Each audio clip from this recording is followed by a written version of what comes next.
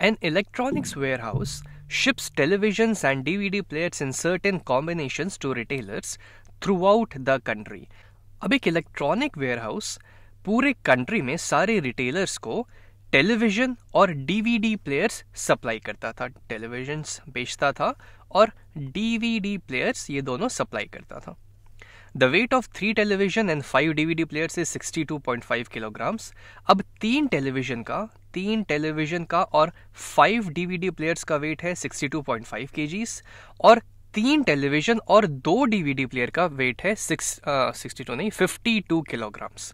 तीन टेलीविज़न यहाँ पे तीन टेलीविज़न और टू डीवीडी प्लेयर ये एक्चुअली अच्छी आदत है, जो जो इंपॉर्टेंट पॉइंट्स मुझे दिख रहे हैं। इस क्वेश्चन में उसको मैं अंडरलाइन कर देता हूँ। Create a system of equations that represent this situation अब इस सिचुएशन को हमें मैथमेटिकल इक्वेशंस के थ्रू रिप्रेजेंट करना है then solve it to find out how much each television and DVD player weighs और फिर उसको सॉल्व करके बताना है कि एक टेलीविज़न और एक डीवीडी प्लेयर का वेट आखिर कितना होगा। तो भाई, जो चीज़ हम करते आए हैं, जो चीज़ इस क्वेश्चन में हमसे पूछा जा रहा है, उसे हम अपना वेरिएबल मान लेते हैं, क्योंकि उसके वैल्यू तो हमें पता ही नहीं है। तो हमसे पूछा जा रहा है कि एक टेलीविज़न और एक डीवीडी प्लेयर का वेट क्या होगा। तो let let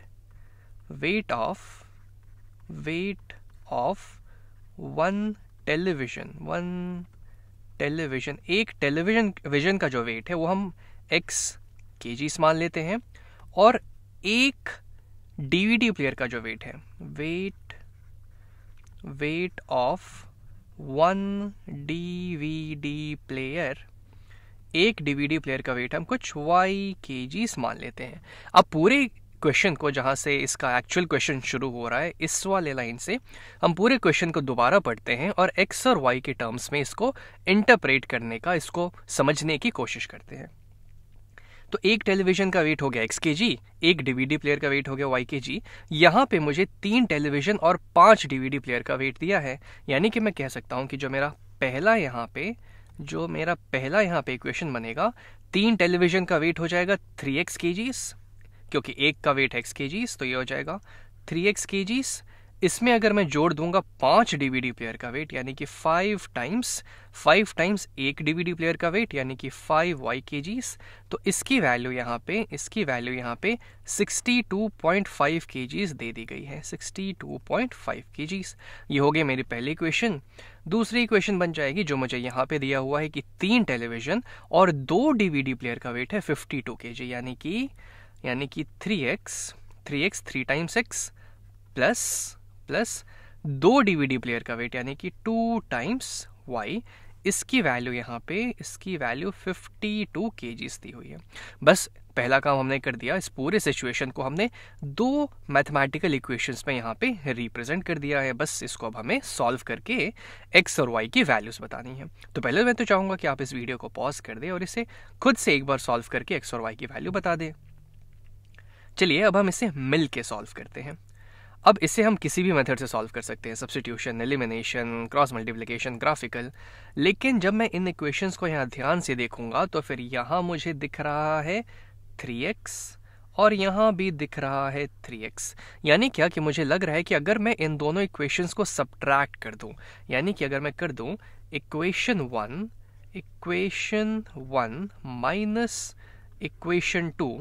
तो ये थ्री एक्स और थ्री एक्स तो आपस में कट जाएँगे और फिर सिर्फ़ मेरे पास एक वेरिएबल बचेगा वाई जिसकी वैल्यू मैं निकाल लूँगा। तो चलिए काम किया जाए।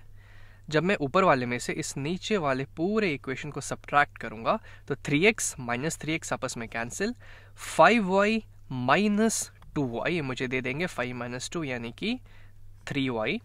equal to equal to sixty two point five minus fifty two ये मुझे दे देगा पॉइंट फाइव टू में से टू चला जाएगा, ज़ीरो, फाइव, सिक्स में से फाइव गया वन। Ten point five. अब मैं y की वैल्यू यहाँ से निकालने के लिए मैं दोनों साइड थ्री से डिवाइड कर देता हूँ, यानी कि इधर भी डिवाइडेड बाई थ्री इधर भी डिवाइडेड बाई थ्री तो ऊपर नीचे मैं थ्री से डिवाइड करूँगा तो ये हो जाएगा वन इधर मेरे पास है टेन पॉइंट फाइव तो इसको मैं लिख सकता हूँ hundred and five upon ten times one upon one upon three मैंने टेन पॉइंट फाइव को hundred and five upon ten लिख दिया। अब ऊपर नीचे मैं तीन से डिवाइड कर देता हूँ तो ये हो जाएगा थ्री वन ज़ा थ्री थ्री थ्री ज़ा नाइन और वन फाइव थ्री फाइव ज़ा fifteen thirty five upon ten यानी कि थ्री पॉइंट फाइव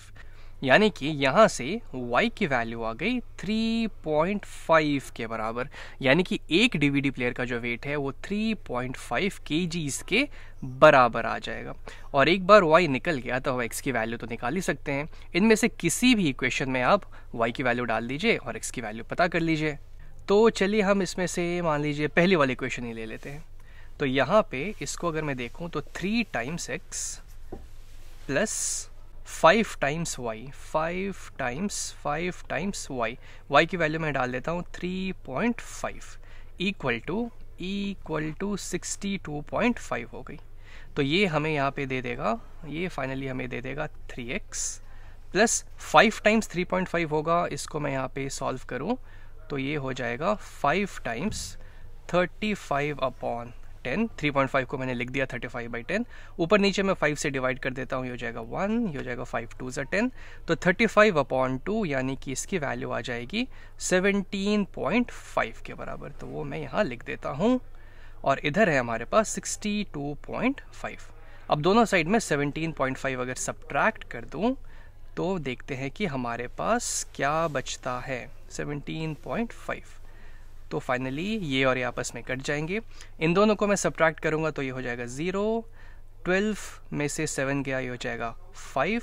इधर बचेगा फाइव फाइव में से वन चला जाएगा फोर फोर्टी फाइव और इधर तो मेरे पास थ्री एक्स है ही, और ये आपस में बराबर है। अब दोनों साइड हम क्या करते हैं? दोनों साइड यहाँ पे हम थ्री से डिवाइड कर देते हैं।